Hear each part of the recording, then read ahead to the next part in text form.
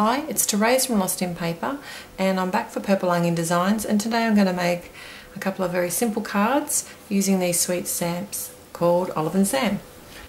So I'll get started by using my Stamp-A-Majig to place Olive on the card in the corner and I'll be using some Ranger archival ink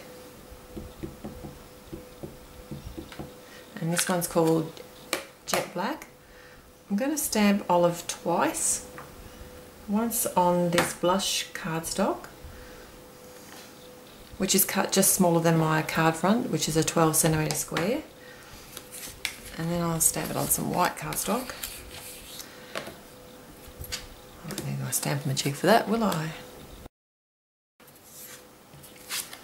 Okay, so while that dries, I'll stamp out Sam and this time I've got some blue cardstock so this is kind of going to be a matching pair and I'll be stamping him with some Jenni Bowlin. This is called Spice Tin which is a really nice dark blue. I'll do the same again. I'll be stamping this on a piece of white, white cardstock as well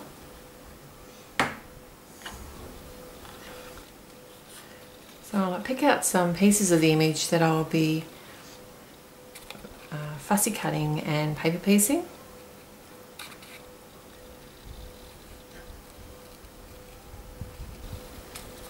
So these cards have been on my to-do list ever since I saw this awesome card made by Darnell. So thank you very much for the inspiration. I'll put a link to Darnell's card on my blog. So that'll be in the about in the description below the YouTube video and I'll also list all the products that I've used there as well.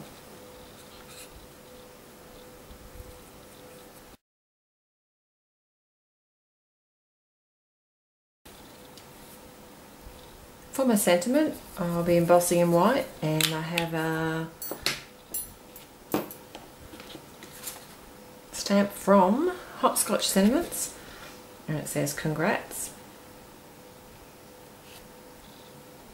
So use some Versamark ink and emboss it in white and hit it with my heat tool. The sentiment on my boys card is from the mini sentiment set and it says little prince and I'll emboss that in white as well.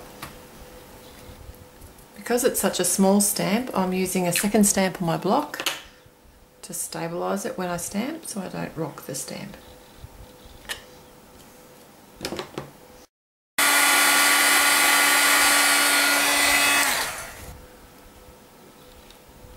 I'm simply using my Uniball gel white pen now and creating a border around both the cards. I'll just set these aside to dry for a little bit. Because the gel does take a few minutes to dry and you don't want to bump it. To adhere my pieces of whites cardstock, I'll just use a little bit of Tombow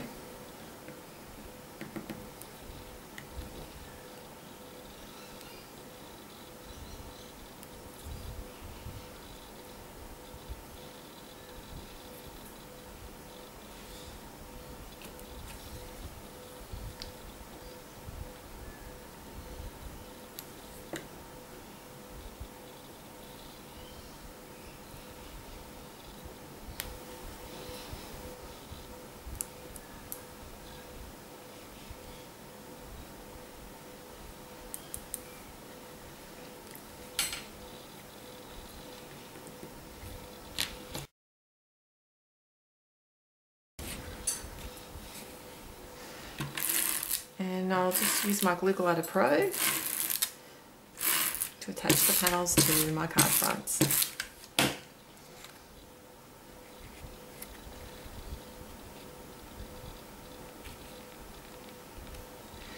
Just left a about a two or three mil border around the edges. and it's a 12 centimetre square card base. So, very simple cards today and really cute stamps too. I just love these. Sweet bears. So.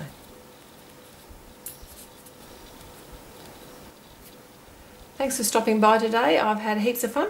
I'll be back again real soon with some more cards for Purple Onion Designs. So until then, happy paper crafting. Bye.